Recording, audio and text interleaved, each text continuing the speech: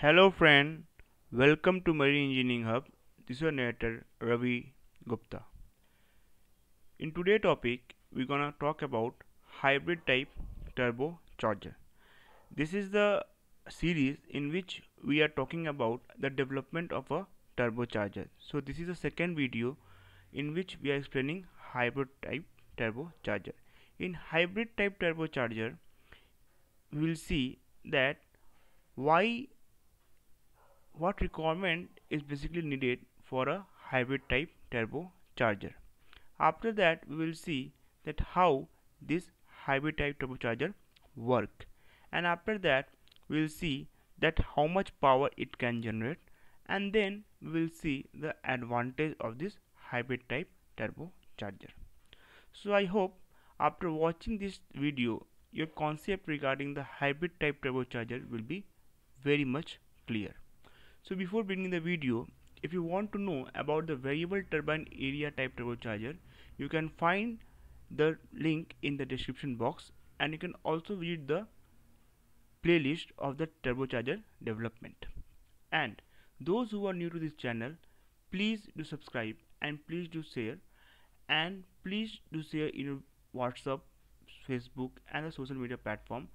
This is the Marine Engineering Hub in which we discuss the marine related topic from basic to the advanced level. If you like our work, then please hit the like button. So let's start the today video of hybrid type turbocharger. So first question come to our mind that why we require this hybrid type turbocharger.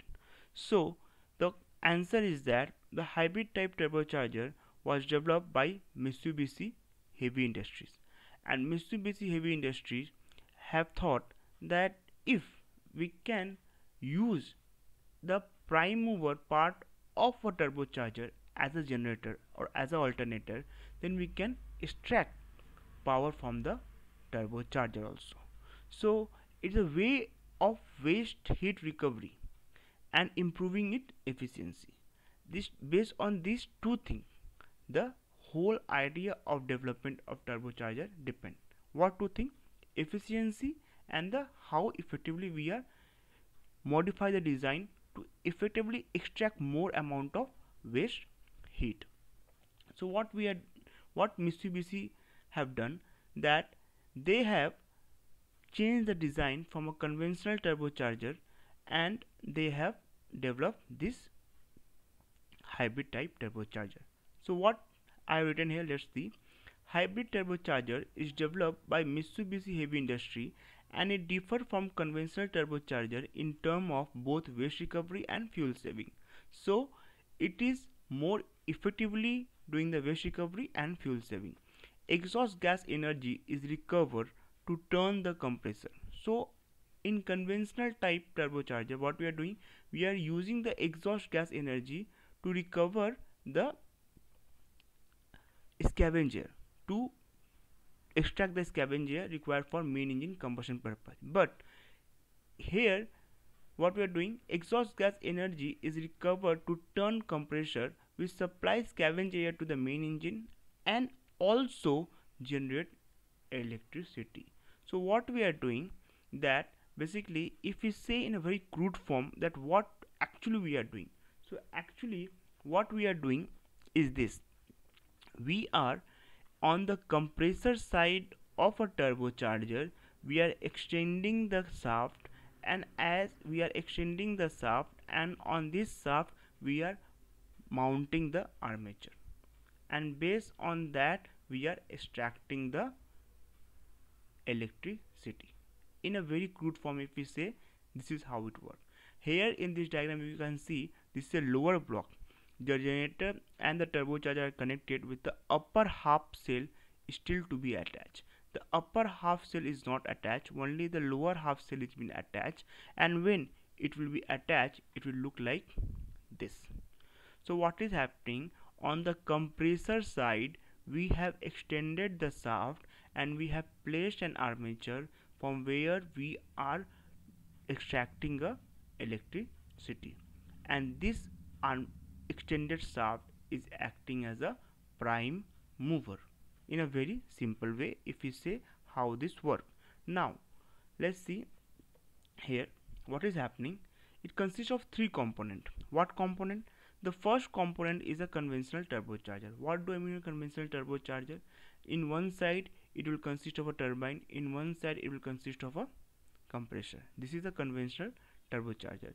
After that along with that is consists of a specially designed compact alternator to run at a very high speed around 9000 rpm and a cooling system for alternator as heat generator will be more due to compact size for given rpm so the main problem the main biggest enemy of this hybrid type turbocharger. If the question asks that what are the biggest enemy of this hybrid type turbocharger is the cooling. Because the idea was prominent very from earlier on but the problem which we are facing was the regarding the cooling. But now because of the technological advancement now this can be done effectively and hence the cooling problem is been resolved. Based on which this hybrid type turbocharger system is now can be seen as effective and is now implemented and its power is been extracted. So what is happening? Consisting of three component. One is the conventional turbocharger consisting of turbine and compressor. Second is a compact alternator. And third is the most important cooling system for alternator. Now the working is similar to the any other generator. The only difference here is the prime mover the prime mover is turbocharger itself. In diesel generator engine in diesel generator engine we are using a diesel generator to act as a prime mover. But here we are using a turbocharger to act as a prime mover with the extended shaft based on which the alternator is been installed. Okay. Now the speed of a prime mover govern the voltage and frequency of the generator. Now now the question is how it is been constructed i have told you. Now the question come to our mind that here in this turbocharger the speed will vary. Means in low speed it will have a different speed. In high speed it will have a different speed. Then how we are gonna achieve a proper voltage with a proper frequency? Means like for example 440 volt of 60 hertz frequency of a constant in nature how we gonna achieve? If the prime mover speed is gonna vary in turbocharger in diesel engine generator we are maintaining a we are maintaining a particular rpm like 720 rpm or 900 rpm and on based on that speed the generation is being done. But here in this turbocharger the rpm is varied as per the load. So how we are going to do that? So what we are doing the speed of prime mover govern the voltage and frequency of the generator very clear means based on the speed of this prime mover the voltage and frequency of the generator will be very very true now, an initial DC power is provided so that the required output voltage and frequency can be achieved. So what is happening here? That how a synchronous generator work based on that same principle this is working. The how a synchronous alternator work.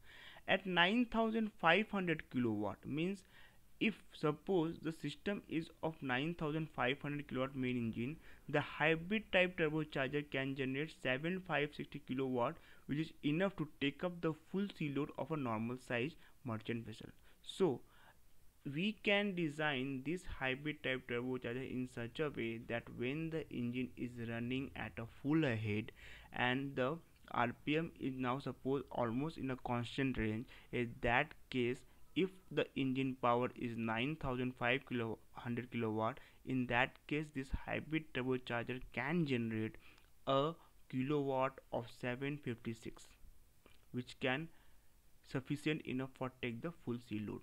So it means what? It means it's very significant is that that this turbocharger alternator can take the full sea load when the engine is running at a full ahead in a sea. So we don't need any auxiliary generator. Very very important thing.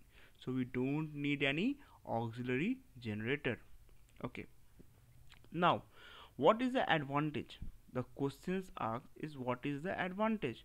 With only little increase in the dimension enough power can be generated for main engine operation for main engine operation we can generate enough power which can provide for auxiliary purpose. Fuel saving as heat recovery system is used during the alternator very important. The fuel saving we are doing we are generating the power also so these are the advantage. Now the generator can function. Very important please listen carefully. The generator can function as a motor at low load operation to drive the blower for maintaining the scavenge air pressure of main engine. So when it is at low rpm when the turbocharger is running at a low rpm the power can be provided from the auxiliary generator and this can act as a rotor. And this can act as a motor. And when this act as a motor it will drive the turbine compressor wheel itself and hence it will provide the necessary amount of air. So we don't require any auxiliary blower.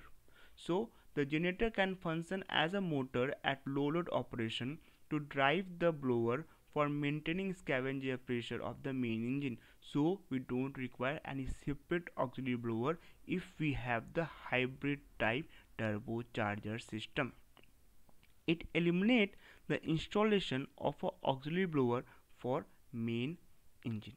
Very very important. As no extra fuel is used it helps in the emission cut down from the ship another very important point. So what are the advantages emission cut down no requirement of the auxiliary blower fuel saving and power generation. Four important points you need to tell in the advantage. After that how it works so basically in two or three lines if you want to explain you can say an extended shaft of a turbocharger is provided on which the alternator is being set up and based on that the power is being extracted and the alternator is generating so much of power that at the full sea load condition when the engine is running at a head it can provide a full sea load power. So based on this you can say. Okay so I hope after watching the video the regarding the concept of hybrid turbocharger is very clear. If you still got doubt no worry. Please do provide your doubt in the comment section. I will reply back. My friend my only aim is to provide knowledge to everyone which i have. If you find something more you can please do comment below. And please it's a request to all of you please do share our video the main aim is only to help. So please allow me to help because this type of channel is very rare. So i want to spread the help because i'm making this with a lot of effort and a lot of concern. So thank you friend. Have a good day and thank you for hearing us